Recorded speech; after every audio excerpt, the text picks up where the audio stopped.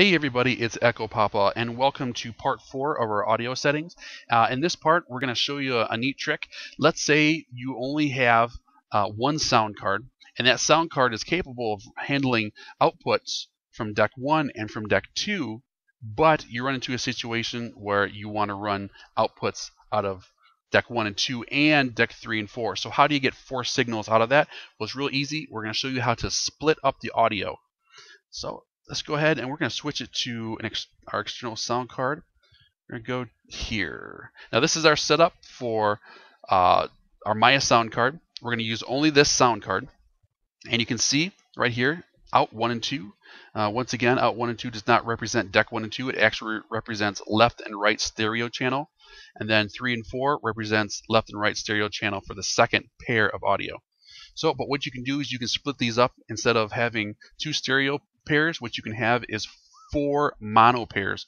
So show you how to do it. We're gonna go here. We're gonna set up deck three and deck four. Now right now we have uh, these set up. We're gonna change it to Maya 4-4 because we're only gonna use the Maya 4-4 for this. And we're gonna change these channels. First we're gonna drop this down and you can see just the stereo pairs here. We also have out one and out two of mono. Switch this out two. Okay, that was pretty easy. So now the output 1 is going to be from uh, deck 1. The output from 2 is going to be deck 2. So for these two decks, now all we have to do is take a signal splitter, plug into those ports, and we can run it right into the stereo inputs of our mixer. So what are we to do with deck 3 and 4? Show you. Go down here to where it says more. This is where you are going to manually be able to select your channels. So, and when it says source left and source right, these are actually left and right coming out of the deck. Now, we're already selected with deck 3 here. So it says, where's our, our, our left channel going to come out of? Output 3. Where's our right channel going to come out? Output 3. And when we say this, uh, what we're saying is we want a mono channel, both signals run together to come out of that third port. You can see it's already labeled it for us. Output 3, third port. We're going to do the exact same thing with deck 4 where we're going to do it with output 4. Select more, out 4, out 4, close this up. Now we have four mono signals that are running out of Virtual DJ and we can run it straight into our external mixer. So now that we have it set up like this, now how do you set it up externally? Well, it's really easy. You just take, uh, set your mixer to mono, assuming it has that ability. If not, just use uh, a stereo splitter to split the stereo from mono back into stereo, and it'll just be two stereo signals and plug them into your inputs.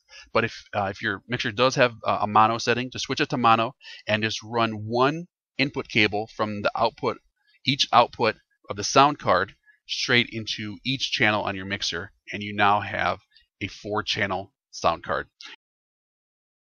And you say, well, I don't want to run in mono. Well, I'm going to tell you, unless you're doing production, you know, where you're recording something for, say, a CD or something to that effect, uh, when you're performing live, I perform mono whenever I can. And the reason for that is, is because when you're in uh, stereo, you're actually projecting a stereo field of left and right. Now, the audience that's in the center of that stereo field they're going to be able to hear the stereo. But somebody who's you know farther off to the left and farther off to the right is only going to hear half of the signal. Or if they're way far off to the left, like let's say they're to the left of your stage or to the right of your stage, they're just going to com only completely hear uh, one side of that uh, versus your stereo signal. But if you switch it to mono, they're going to be able to uh, listen to everything. And this is especially true, like say in, in clubs or at festivals where people could be all over the place. And if internally in a club, sometimes the speakers can be all over the place and you never know where your dance floor is actually going to be. And so once again, I recommend playing in mono anyway, so this is a uh, this is not going to hurt you at all. If you like this video, please click the like button. If you really liked it, please share it with your friends or better yet, subscribe. Come back for our next video where we're going to talk about the line input and how to input an external signal into Virtual DJ.